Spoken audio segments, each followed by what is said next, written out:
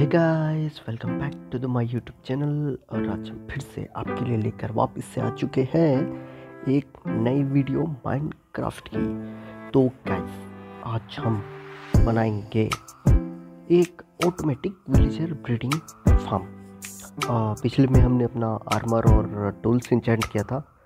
और फिर बाद में मैंने डिसइंचेंट भी कर दिया सबको। क्योंकि सारे अच्छे से मतलब नहीं थे तो मैंने फिर गया लेवल अप किया और फिर से इंचेंट किया। तो अभी देख रहे हो कि मेरी एटी फाइव लेवल बचे हुए हैं और मैंने दो तीन एक्स्ट्रा चीज़ें भी इंचेंट की। स्वॉर्ड पे अपने को अच्छा खासा मिल गया मेंडिंग मिल गई और ब्रेकिंग शायद नहीं थी। फायर रिस्पेक्ट टू मिल गया और शार्पनेस था अपने पास, वो लगा दिया मैंने।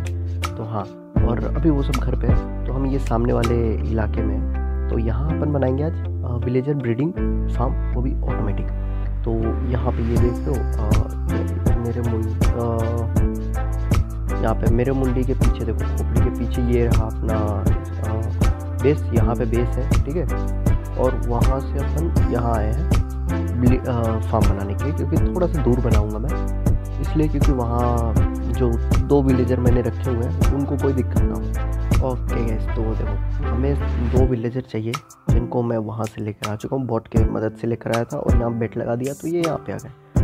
और आ, ये थोड़े से सामान चाहिए थोड़े से कैरेट थोड़े से डॉट डॉट पानी ग्लास और बस। और यहाँ पे ये बेड लेकर आ चुका हूँ और यहाँ अंदर जो मेरे में इन्वेंट्री में सामान है थोड़े से bucket glass rail trap door और ये सब चाहिए। और बहुत कुछ तो मैं अभी बनाने का काम करता हूँ और आपको बताता हूँ कि कैसे बना सकते एकदम मस्त सा ओपी सा सिंपल सा। आ, ये इधर भाई तू अभी तेरा काम नहीं है तू यहाँ पे हो जा। ओके? तो ये इधर आएगा ये यहाँ पे। टिक। तो ये पहले आप इसको ऐसे प्लेस करोगे। ओके? इधर क्राउच करके ये यहाँ अरे यार क्या कर दिया मैं? तो ये देखो, ये एक डिस्पेंसर है और इसको लगाओ और इस पर एक सिंपल बटन लगा दो, ठीक है? और यहाँ पे लगाओ दो ऐसे रेल पावर्ड ठीक यहाँ पे स्टोन या फिर आपको जो भी अच्छा लगे, ओके? यहाँ पे दो रेल ऐसे, ओके? यार, मेरे ऊपर चढ़ जा भाई, ओके? एक ऐसे, ठीक? ऐसे हो गया देखो। हाँ मैंने कुछ गड़बड़ किया है। वो सेट यहाँ पे ऐसे नहीं रहेगा गाइस गलत गलत हो गया, गलत हो गया. ठीक है? थोड़ा सा गलत हो गया स्टार्टिंग में गलत हो गया. तो ये देखो, यहाँ पे आप रेल लगाओगे ठीक है यहाँ पे ऐसे, फिर यहाँ पे एक, और यहाँ पे दो, और यहाँ पे तीन. ठीक है, देखो, ऐसे. और फिर नीचे से इन सबको तोड़ लो. देखो, ये टूटने के बाद ऐसा लगेगा कुछ. और उसके बाद यहाँ पे इजी इजी सिंपली ऐसे रेल लगा दो। ठीक है? तो ये आपका हो जाएगा नॉर्मल नीचे का प्लेटफॉर्म और इसको आप जितना मतलब दूर ले जाना चाहो ले जा सकते हो। तो मैं ऐसे चार ब्लॉक लेके गया और यहाँ पे तीन चार और लगा दूँगा मतलब तीन। ठीक है? और बाद में मेरे को वो जहाँ भी ले जाने होंगे विलेजर मैं यहाँ से अपना ट्रांसफ़र कर सकता हूँ। तो देखो, अभी ये सोने के लिए कर रहे और रात हो चुकी है तो अपन भी सोएँगे। ठीक है? मैं पहले सो जाता हूँ उसके बाद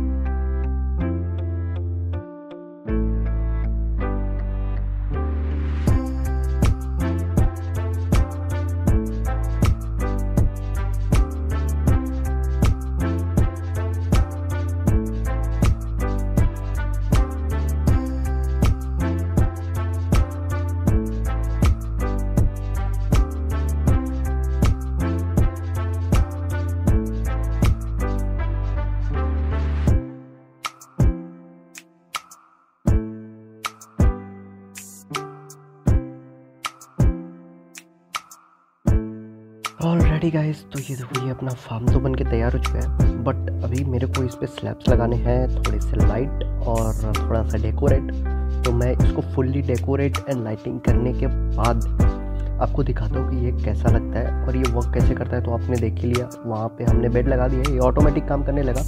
वो जो फ़ार्मिंग कर रहे हैं, उन बेड लगाते, उन्होंने ब्रीडिंग की और जो ब्रीडिंग की, वो बेबी फटक से बेड की तरफ़ भागेगा और बेड की तरफ़ जो रास्ता जाता है, उसमें मैंने ट्रैप लगा दिया। तो वो ट्रैप खुला हुआ है और ये ट्रैप इनको ब्लॉक की तरह दिखता है। तो ये फटाक से इस पानी में गिरेंगे और ये जो रेल है, अपन इसमें रखेंगे और ये जैसे ही बटन प्रेस करेंगे, वो फटाक से बेबी को उस काट में बिठा के बाहर निकाल देगा। तो पहले मेरे को, मेरा पेट तोड़ने दो। और मेरे को अभी डेकोरेट करना पड़ेगा, थोड़ा आधा घंटा या उससे ज़्यादा इसमें टाइम लगेगा। ये सब क्लीन करूँगा उसके बाद।